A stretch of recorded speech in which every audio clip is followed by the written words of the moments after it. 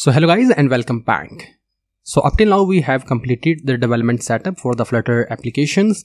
We have successfully installed the Flutter on Windows and Mac OS operating system and we have installed all the necessary tools and softwares for developing your awesome mobile applications in Flutter. Now we are going to extend that topic. Now we are going to explore in the Flutter projects. We will discuss its anatomy and we will discuss the widgets in this session. So if you are new to our channel then it is a request to please subscribe to our channel because we have been bringing a lot of resources, material and content for you. So stay tuned and watch the video till the end.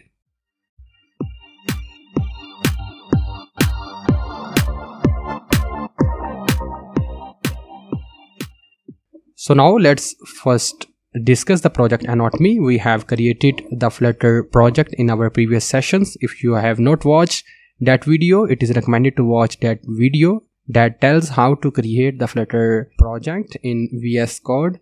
So now we are going to discuss the anatomy of this project. We are going to discuss about the files folders and directory and their purposes. So for this we are in the explorer session. You have to click on these two signs to see the explorer. And from here broadly you can see here the android and the ios so android contains all the files which will be required for your android application and ios will contains all the files necessary for the ios development. Uh, generally we do not touch these two folders. We write our code in the main.dart so this is the lib section. So this will contain all the codes of uh, your flutter application in dart language and here you will develop your code and this code will be run simultaneously on iOS and Android giving the same UI. So in the same way we have the Linux and Mac OS and the web and the Windows platform. So we are writing the code in a single file and this code will run on Android, iOS, Mac and Linux and web platform at the same time. So if we go down we can see here the git ignore so basically, uh, if you are managing your code on source control and you are using GitHub or any Git source control system, you will need this git ignore file. And you can see here the readme.md. This is also related to the GitHub or Git related files. And the second last file is the pubspec.yaml. This is the project setting file this file contains the essential settings for your project. You can see here our SDK and in the same way you will see our project name and description here. You can change your project name and description from here and you can introduce the fonts. If you are not satisfied with the system fonts, you can introduce your own fonts here. And in the same way, we can also introduce our assets in the form of images. So we have to include our image location here and our image will be displayed in our application. So in the upcoming video we will see uh, how to include fonts and images. For the moment it's okay to see the things. In the same way we have analysis option.yml file. So if you want to statically analyze your application you will need this file so this will uh, give us essential exception and error description.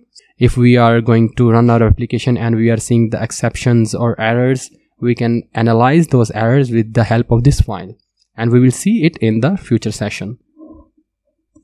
So now let's come towards the second part of this video which is the widgets. So widgets are the very important concept in the flutter. So we will focus on this concept in the Flutter terminology, we see everything in Flutter is a widget. So, widget is an immutable description of the part of user interface. So anything you see on the user interface of Flutter application is a widget. For example, in the last video, we have created a none of application. So you can see here, we have this text, this is widget.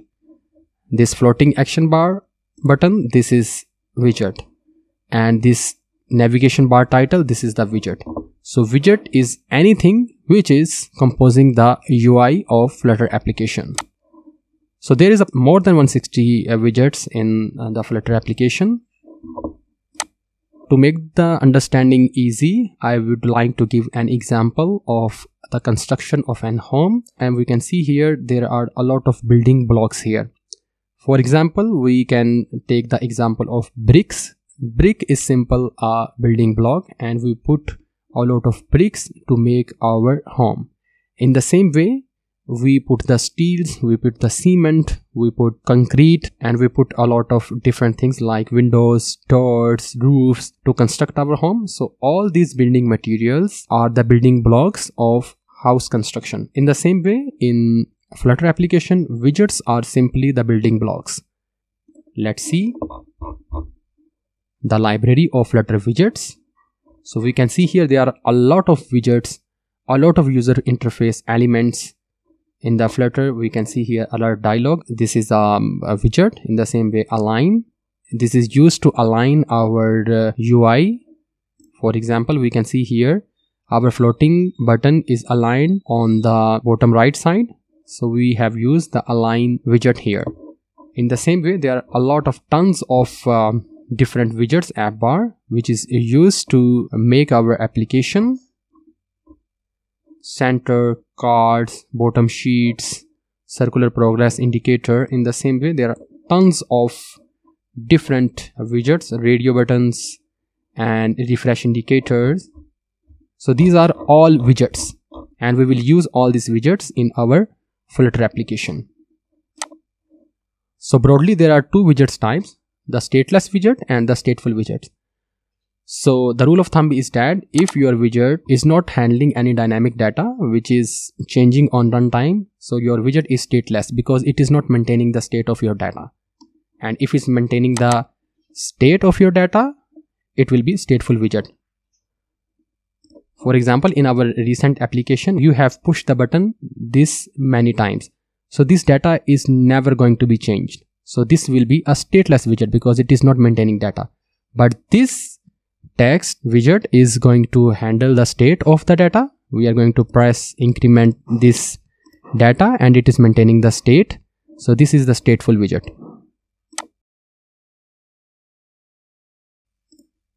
As you can see here we have a lot of tons of widgets. Broadly we can categorize all these widgets into four different categories. So first one is the value widgets so value widget is any widget which is used to show the value.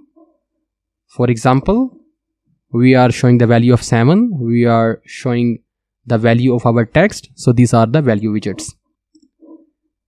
Layout widgets. So layout widgets are basically used to lay out our application. You can see here our floating button is being displayed in the bottom right side in the same way our navigation bar is being displayed on the top bar so this is the layout of our, our application so all those widgets which are going to help us in maintaining the layout or fallen in this category of layout. So this is the navigation widget. So any widget which is used to navigate from one page to another page is called the navigation widget. For example, this is the material app bar where we are seeing the navigation bar and different text. So this is the navigation widget. So this complete screen is a navigation widget and then there are other widgets which do not fall in these categories are categorized in other widgets so now let's come towards our code which is main.dart we have created in our previous session so you can see here this is the main function of our application. So every time when our application will run we will receive this main function. And in this main function we are returning a widget which is my app widget. And my app widget is returning a stateless widget of my app. And in this build context method we can see here we have a material app so this completely is a material app and we have the title theme and we have the home widget as well so in the home widget, we have the sub widget, which is scaffold, app bar, center, column.